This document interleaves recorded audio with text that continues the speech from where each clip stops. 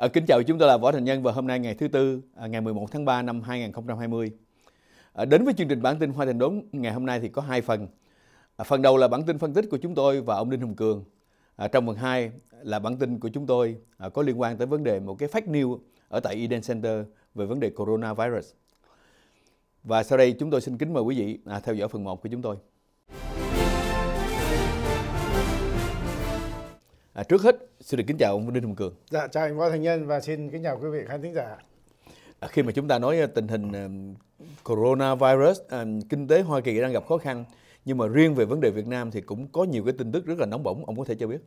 À, cái lý do là trước khi mà cái corona xuất hiện vào khoảng cuối tháng 12 đó, thì một hạm đội của Trung Cộng đã biểu dương lực lượng qua Đài Loan và cái hành động đó như gần như là một hành động khiêu khích thành ra Mỹ quyết định đưa à, cái bảng không có hạm Theodore Roosevelt từ San Diego sang Việt Nam. Và tàu này nó khởi hành ngày 17 tháng Giêng và năm tây tháng 3 nó tới Việt Nam. Và ở tại Việt Nam đó họ phá họ gọi là biệt phái một cái tàu gọi là tàu lưỡi kiếm đi vào trong Đà Nẵng để tiếp đón với lại hải quân của Việt Nam. Tại đây họ tổ ra một cái cuộc tiếp đón rất là long trọng, mục đích là phô trương uh, cho thế giới và nhất là cho Trung Cộng biết rằng là có chúng tôi ở đây để sẵn sàng. Cái lý do mà mà hạm đội Roosevelt phải tới Việt Nam là bởi vì có những cái sự khiêu khích như đã nói ở trên. Và thứ hai nữa nằm trong cái chiến lược của Hoa Kỳ cho dù rằng bây giờ là cái cái cái cái cái cái, cái, cái hoạt động quân sự của Trung Cộng hoàn toàn yếu kém vì cái lý do mà và virus corona xuất hiện ở Vũ Hán và làm cho kinh tế và và quân sự của Trung Cộng tê liệt nhưng trong cái kế hoạch của Hoa Kỳ Hoa Kỳ vẫn phải tiếp tục thi hành cái nhiệm vụ của mình.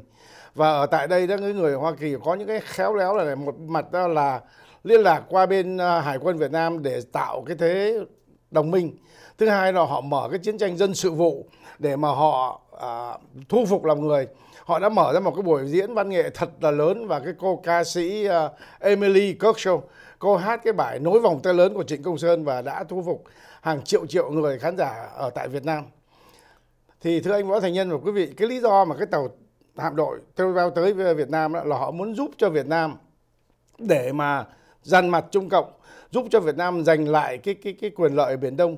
Nhưng mà điều đáng buồn đó là lãnh đạo của cộng sản đó họ lại sợ Trung Cộng và họ coi cái cuộc uh, tiếp thăm viếng này họ coi coi như là cái chuyện không quan trọng và họ đưa những cái nhân vật rất là yếu kém để tiếp đón. Thành ra mình nhìn thấy rằng là dù thế nào chăng nữa là mỹ có hết lòng để giúp việt nam, nhưng mà là cầm quyền của cộng sản vẫn sợ trung cộng và vẫn muốn bị lệ thuộc trung cộng để bảo vệ cái chế độ.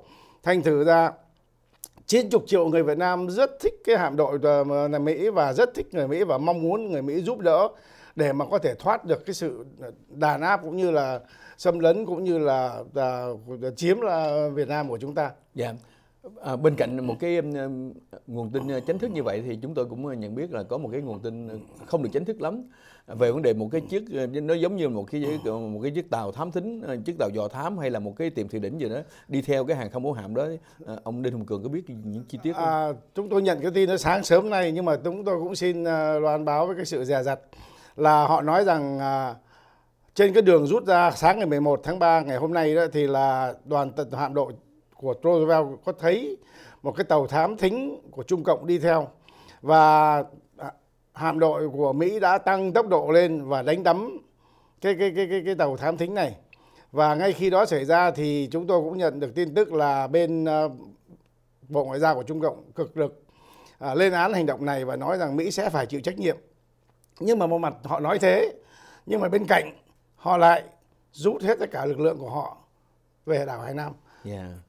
À, kính thưa vị, khi mà chúng ta nói um, tới Việt Nam thì chúng ta cũng nói tới Hoa Kỳ và chúng ta nói chiến tranh Việt Nam thì hiện nay một quyết định của chính phủ Hoa Kỳ trong vấn đề rút quân ra khỏi Afghanistan đó, do đó chúng tôi muốn tham vấn với lại ông Đinh Hùng Cường à, ông có thể cho biết có đó có phải là một cái Việt Nam thứ hai không nhỉ?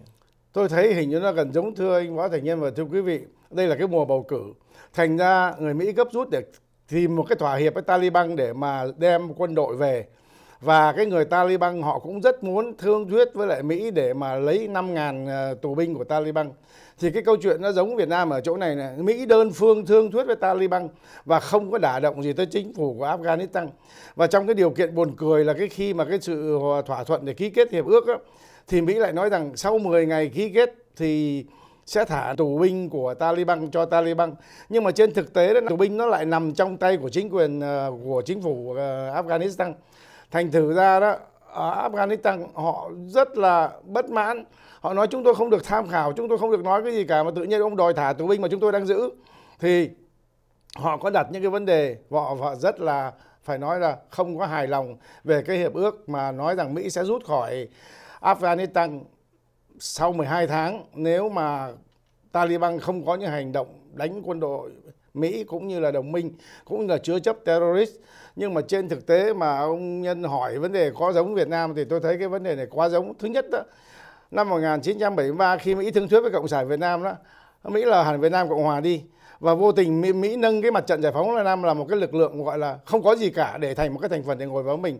Y hệt ngay như bây giờ những người ở bên Afghanistan họ nói rằng à, người Mỹ đã cho ta, Taliban một cái quyền lực lớn để có thể ngồi ngang hàng với chúng tôi trong khi họ không có kiểm soát cái gì ở đất nước này rất nhiều.